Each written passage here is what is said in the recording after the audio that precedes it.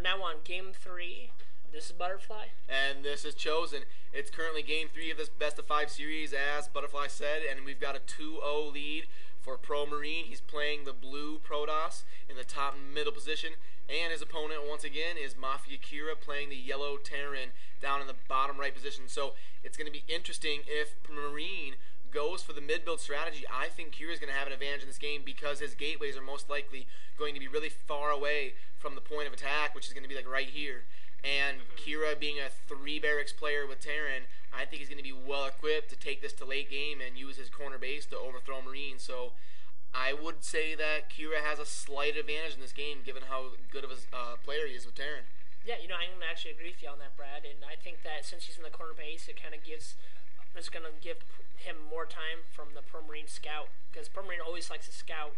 I don't know if I should even be saying this, but always likes to scout the mid bases. So that's well, I mean, it's really common for Protoss when they mid build because you can get in and out of the mid bases fastest. You see how this ramp is really short, so instead of going, you know, up here through this whole corner ramp, you can get in and out of the mid bases fast. Yeah, and you see Marine scouting the other mid base uh, pretty much everybody when they mid build likes to scout the mid bases first because you can get in and out of them really fast. In as your first scout as your probe, you almost have to scout the mid base because by the time your probe gets back, you're going to have just enough money to put the three, the, sorry, the two gateways down at that time. Yeah, and so this is this is very important if you're trying to learn how to mid build with Protoss.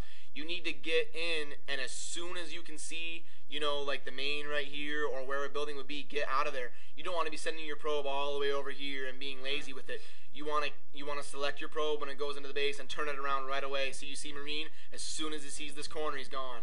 You see that white like that box in there? That's where the command center or the yeah, this little corner right here, this the box would be. That's where the main is. And as soon as you get far enough in, you see Marine not going all the way to the back corner. You can't go all the way in. You have to, as I said, just get in till you see something and then get turned around and scout a different base. Time is everything when you're mid building. And yeah, Kira doing the three barracks, one gas. And this is going to be bad news for Marine. His gateways are all the way up here. His Zealots have like a 15 yes. second walk just to get to the battle. So I think Kira's going to be able to hold this off pretty easily. And now, right now, Marine's just given his guesstimation of the bottom right because he didn't quite have it fully scouted the top left either. He's just going to assume it's kind of down here. Yeah. It's a good choice for him. Let's go down. Oh, is he going to lose? He's going to lose oh, his probe. That's big time. I think Kira has this. Uh, I think this, I think Kira's going to take this game pretty easily. Uh, he just took out the first probe and two zealots versus five marines and the pump. When your zealots are so far away, I think uh, Kira has this pretty easily. Yeah, definitely. Getting that first probe that also means like it's just going to stall a cannon push because Protoss players always like the cannon push to Terran player.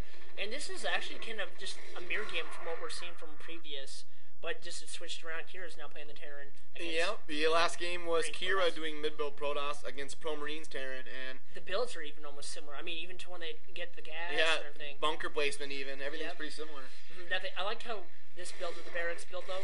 This is also that Kira's doing. This is also what Hardy likes to do. Yeah, there's, yeah. There's a lot of uh, yeah. Hardy's really the only player that puts his barracks like this. Mm-hmm. That's why I like like just a special note on it. Yeah, Kira and Hardy placed their uh, barracks like this, and and it's, surprisingly, Marine's doing pretty well. He has actually hold. I thought Kira was going to be out really far ahead uh, as far as battles taking place in his base, but Marine keeps sniping off these SCVs trying to build his barracks. Another one too. That's actually plays a real big part. And that in this Kansas, I don't know if they're gonna. I don't know. They might actually be getting it down. Stack attack. Oh, SCVs. stack attack going down for Kira, and the Marine coming in with the Zealots pounding away those SCVs. Kira losing so much economy. He's already lost five SCVs. The Zealots. That is actually a huge play. I don't. These games are gonna finish. They're definitely gonna finish. There's too many Zealots there. Marine's gonna take this all down. I don't know. I thought I really saw this going the other direction for a second. I really did. Yeah. Well, I. Uh, Marine really good at the mid build. It's probably his strongest strategy with any race is mid build Protoss. He's he's regarded as one of the best at doing it, and it looks like he's taking Kira to the ropes here. He's going to need to be struggling to get a bunker up just to stay in this game. And Marine getting a little careless with cannons, uh, building uh, maybe one or two too many, and maybe now three too many. He could be spending those minerals on maybe getting another Nexus, but he just really wants to take this game early because he's far away and he doesn't want to let this corner Terran get to late game. Corner Terran very strong late game. Yes. once they, if they get their choke up, it just looks disastrous. If you're trying to ever beat them, and it, the reason why he's putting the factory down there is because he doesn't know if there's going to be ca- cannons coming from the top of his base, and he has to make sure he's able to get that down. And the in the corner, of the base is the safest for that factory. Yeah, and Kira doing a good job of the multitasking, staying good on his depots. Yes. He needs to get Marines in this bunker and, and repair it. Oh, he has two SCVs in that bunker. Yeah. A little bit of a miscue. He needs more Marines in there. It's gonna- it's he, he-? Yep, he drops. And is he gonna? He keeps Oh, that he's bunker. save he it. keeps the bunker, and that's gonna keep Kira in the game. Good job by Kira there.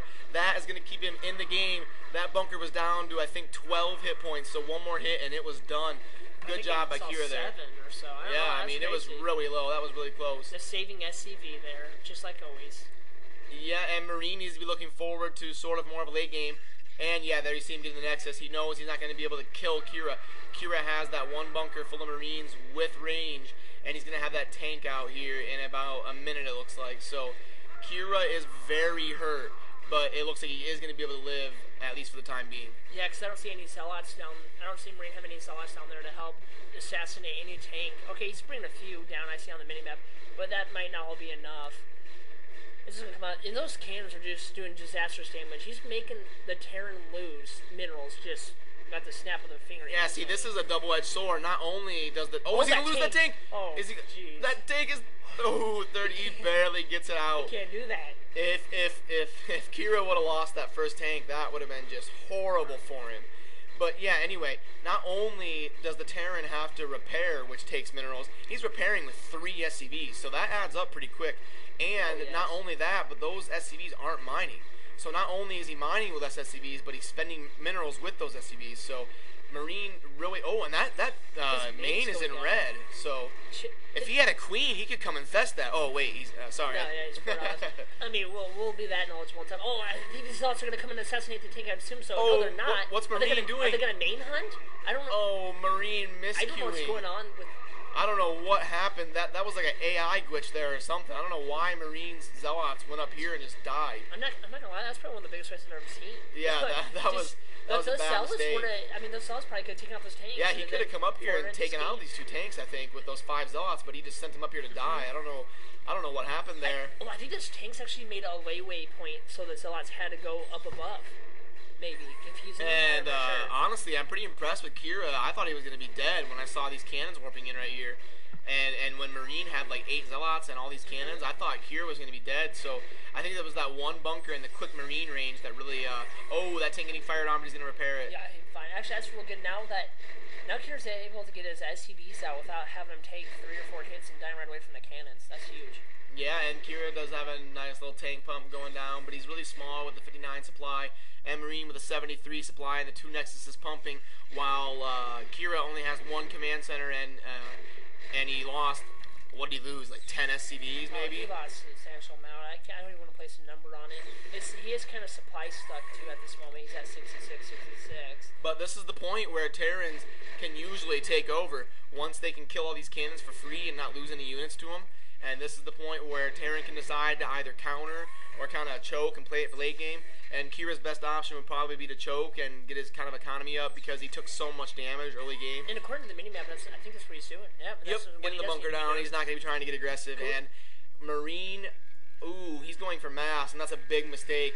Given the fact that he's going for mass, I think Kira can take this game because he's going mass, and Kira's going to have bunkers and depots and tanks and Marines and fire bats, and I don't think, um, I don't think Marine can get through this ramp against all these tanks. What's he have now? Five tanks, five tanks. I don't think he's going to have a, a, a chance at all. Yeah, goons, of- goons of- are going to yeah. become obsolete. And Yeah. then so this, and then the bunkers, I'm assuming he'll fire, throw some fire bats in there, and then his will become obsolete. Cancel out all of his units. Unless Yeah, he had incredible mass at this point of the game. There's no way Marine's gonna break this choke with any mass. So I think a little bit of a mistake here for Marine to, but he does have the tech. He has the Templar archives already finishing at 9:20 into the game. So Marine not completely dead in the water. Oh, and cannons going down at his choke. With Marine going mass, there's no reason for cannons to beat his choke when he's ahead in the game. That tells me that Marine is going to be playing for a late game sort of mass recall strategy, mass drop strategy, or mass carrier. Uh, he's just using the mass to take map control and keep the Terran in his base. And there's those fire bats we were talking about. Yeah, to leave him the ability to go for some sort of a late game strategy. And the cannons at his choke tell me that's exactly what he's going for. And Marine has two set of uh, two set of controlled groups of units to his left and his right from the mid, just to kind of sandwich the Terran if Terran decides to get offensive. Yup, and you see these units in the other uh, sides right. of the map from Marine. That's in case Kira pushes out. Marine can kind of hit him from all angles and really surround the Terran. Yeah, that's what I was just talking about. Oh, okay. yeah, okay. it's, uh, Good job. oh, Sorry so about that. Cute, so cute. I was just thinking ahead to what I was gonna say. Yeah, Brad's always Brad's always one step behind. Now you guys know. All right, I'm just kidding. Usually the one that's ahead. All right, I want to see. I want to look at Queen's base. He's putting up a lot of pylons there. I'm assuming. with, I mean, two ish. Yeah, that he's gonna be going for mass robotics facility here or mass starport. I'm thinking I don't see a starport yet. Oh, a second cybernetics core. That means carriers. Yep, definitely. Oh, and there's the air weapons. So Marine is going carriers. He's getting the quick upgrades, and he's gonna use this mass to take map control, and he's gonna be using this Stall probe. time. Yep, to stall time. You want to build cannons here outside the base and build cannons all the way back to your base. That way the Terran takes forever to tank push to your base, and by the time they get there, you have carriers with eight interceptors and upgrades.